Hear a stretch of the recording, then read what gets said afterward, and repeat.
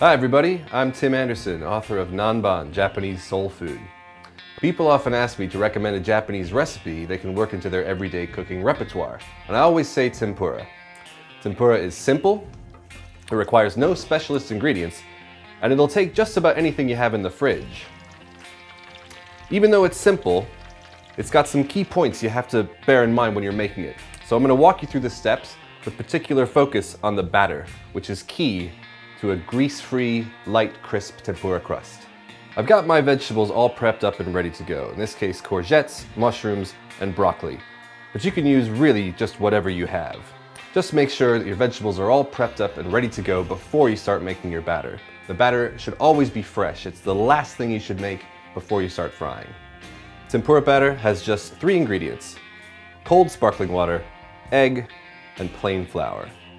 Beat the egg until it's all smooth. Next, we add cold sparkling water.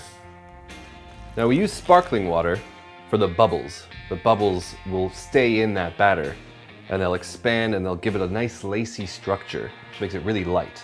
The reason it's cold is because that'll crisp up faster in the oil, which means it'll be less greasy when it comes out. Lastly, we add the flour. Now this step, how you mix it, is crucial because we don't want to mix it too much. We want to mix it just until it comes together. And there's three reasons for that. First of all, we don't want to knock the bubbles out of that sparkling water. Those are essential. Secondly, we want to keep tiny lumps of flour throughout the batter because those will be full of air. It'll explode in the hot oil and create lots of texture in the crust. Lastly, we don't want to develop the gluten in that flour because a glutinous crust will be kind of soft and papery.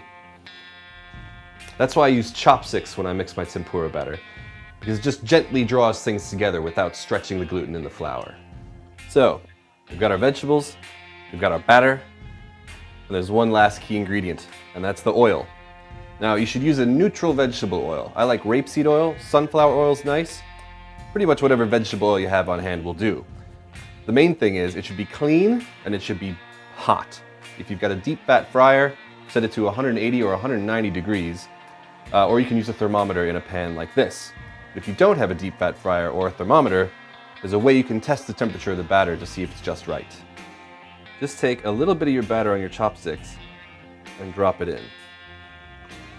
If it sinks briefly and then rises to the surface, like it just did, it's perfect.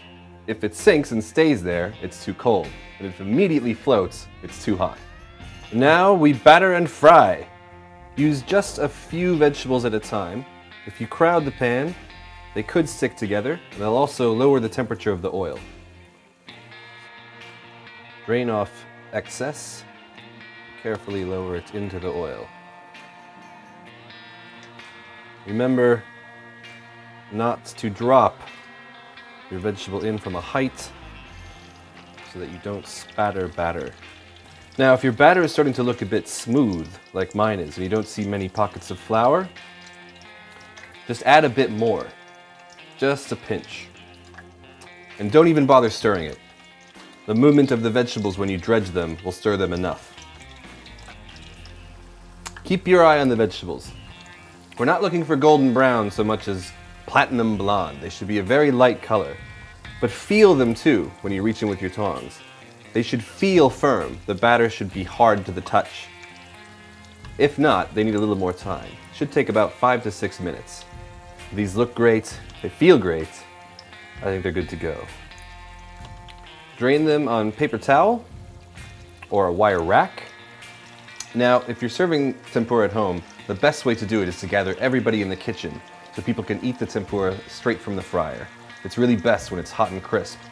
If you need to make a lot of tempura and serve it all at once, you can put it on a tray and keep it in a low oven with the door open to let out moisture for a while. Because everyone loves tempura. Nanban, Japanese soul food. Tempura is simple, it requires no specialist ingredients, and it'll take just about anything you have in the fridge.